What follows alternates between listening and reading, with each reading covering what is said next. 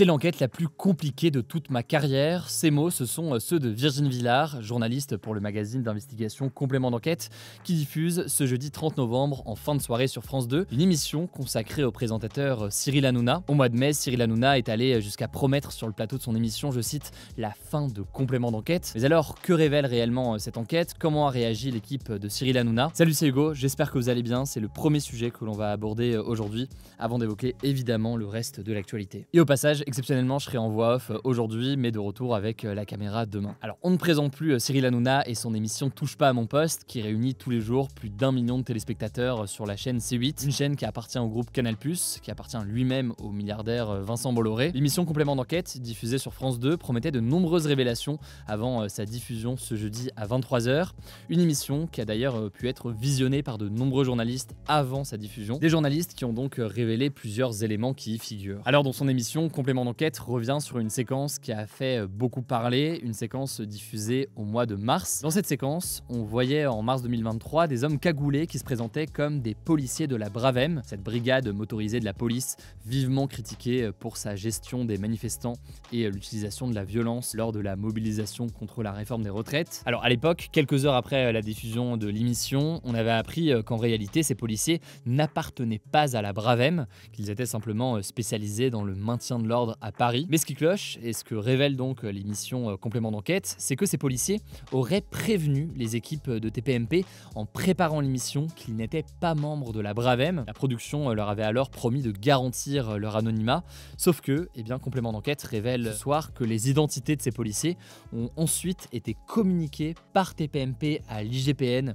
qui est la police des polices. Ce que ça veut dire donc, c'est qu'au-delà du potentiel faux témoignage, eh bien, la protection des sources ici, qui est l'un des fondamentaux du journalisme, n'aurait pas été respectée. Alors là-dessus, on peut noter que l'équipe de Cyril Hanouna a répondu. La programmatrice de l'émission et Cyril Hanouna ni de leur côté avoir été mis au courant que ces policiers n'étaient pas membres de la Bravem avant l'émission. Par ailleurs, selon la programmatrice, on lui avait assuré qu'il y avait au moins un policier de la Bravem dans ce groupe. Et elle affirme, je cite donc, le mensonge ne vient pas de nous.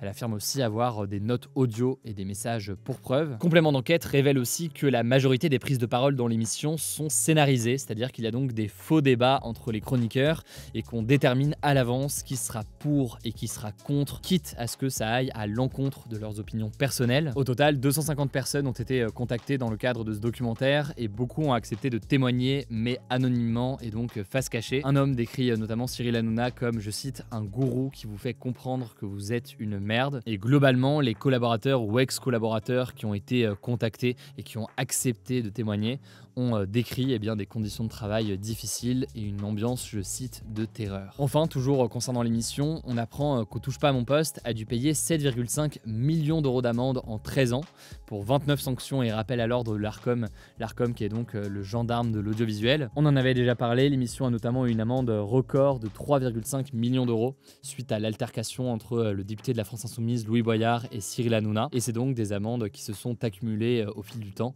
avec donc ces sanctions de Enfin, on peut noter qu'il euh, n'y a pas que des révélations concernant l'émission euh, TPMP, il y a aussi quelques révélations d'avantages personnels en quelque sorte sur euh, Cyril Hanouna, notamment concernant sa fortune estimée à 85 millions d'euros. Alors on va passer un petit peu plus rapidement là-dessus, mais on apprend notamment que l'animateur emploie l'équipage de son yacht avec des contrats de travail qui ne sont pas français pour ne pas payer donc de charges sociales dessus. Voilà donc pour certains des éléments qu'on retrouve dans l'émission, mais alors quelle a été la réponse de Cyril Hanouna?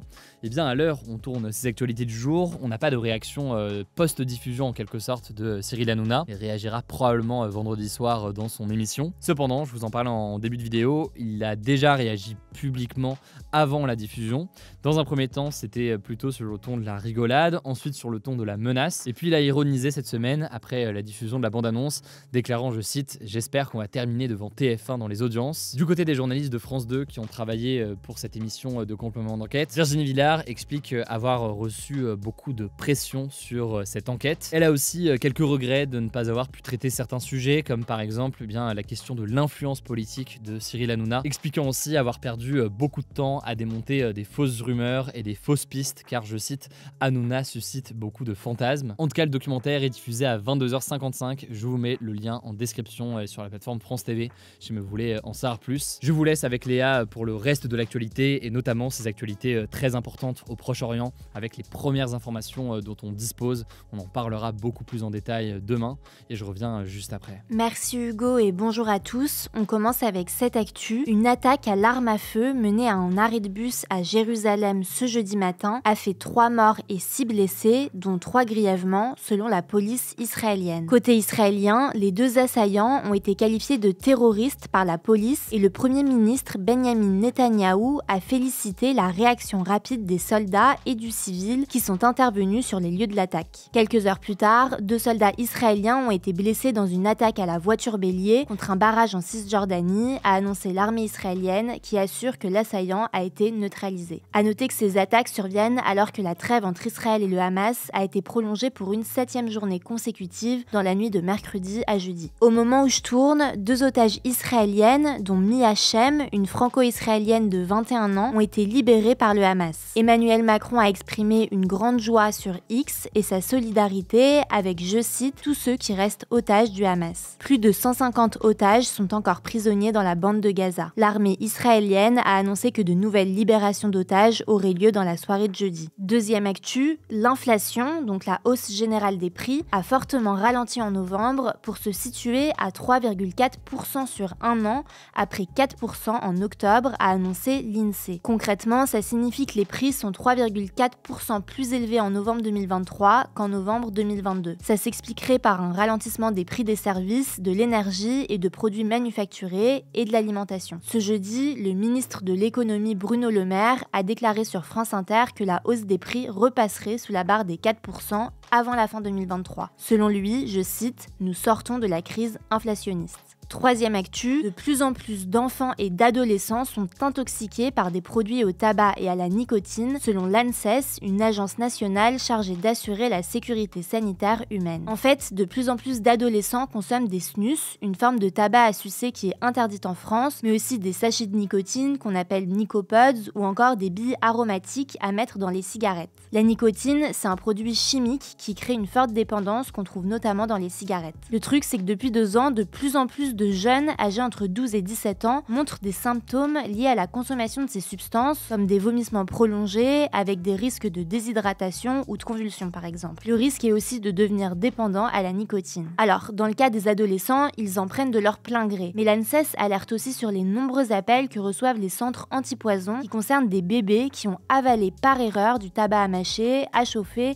ou encore des billes aromatiques colorées qui ressemblent à des bonbons. Quatrième actu, cette année, 37% des Français craignent de ne pas pouvoir offrir de cadeaux à Noël, selon une enquête IFOP pour Dons Solidaires publiée ce jeudi. Ce chiffre est en hausse puisqu'en 2022, ils étaient 34% et en 2021, 30%. Alors, pour pouvoir faire des cadeaux, 54% des Français prévoient un budget moins important que les années précédentes. Parmi ceux qui prévoient d'acheter des cadeaux de seconde main, 67% le font parce que c'est moins cher et 32% pour des raisons écologiques. Par ailleurs, plus de 6 parents sur 10 indiquent que pour pouvoir offrir des cadeaux à leurs enfants à Noël, ils vont se priver d'autres achats. Cinquième actu, la candidature des Alpes françaises est la seule à avoir été retenue par le Comité international olympique pour l'organisation des Jeux olympiques d'hiver 2030. Donc en gros, sauf énorme surprise, les Jeux olympiques d'hiver de 2030 vont se dérouler en France six ans après les JO d'été de Paris. La décision finale doit être annoncée en juillet, une fois que le dossier de candidature aura été évalué selon plusieurs critères, comme son impact environnemental. Mais cette candidature est très critiquée par des militants écologistes qui estiment qu'il risque d'y avoir des problèmes d'enneigement à cause du manque de glace dans les montagnes, ce qui risque d'obliger les organisateurs à amener de la neige artificielle. Sixième actu, à Singapour, en Asie, des îles artificielles pour se protéger de la montée des eaux provoquée par le changement climatique pourraient être créées, a annoncé le gouvernement. En 2019 déjà, le Premier ministre avait affirmé que l'élévation du niveau de la mer constituait, je cite, une grave menace pour Singapour. Concrètement, le projet, baptisé Long Island, Mind devrait permettre de créer plus de 800 hectares d'îles artificielles, soit près de 1100 terrains de football. Elles permettront d'obtenir un espace supplémentaire pour les habitants et les industries, alors que Singapour a l'une des plus fortes densités de population au monde. Les études d'ingénierie et d'impact environnemental du projet débuteront en 2024 et dureront 5 ans, et le développement du projet pourrait s'étaler sur plusieurs décennies. Dernière actu, et c'est une bonne nouvelle, en Chine, 4 enfants nés sourds ont retrouvé une audition presque normale grâce à la thérapie génique, une technique médicale qui consiste à réparer ou remplacer des gènes défectueux pour traiter des maladies. Il s'agit d'une première mondiale. En fait, ces enfants n'avaient pas d'autoferline, une protéine essentielle pour transmettre les vibrations sonores au cerveau. Quelques semaines après avoir reçu une thérapie génique, les enfants ont retrouvé une audition presque normale et sont même capables d'entendre des murmures. Merci beaucoup Léa pour ces actualités en bref. Alors le débat hier c'est le suivant. Pensez-vous que des décisions importantes sortiront de cette COP28 qui se tient à Dubaï?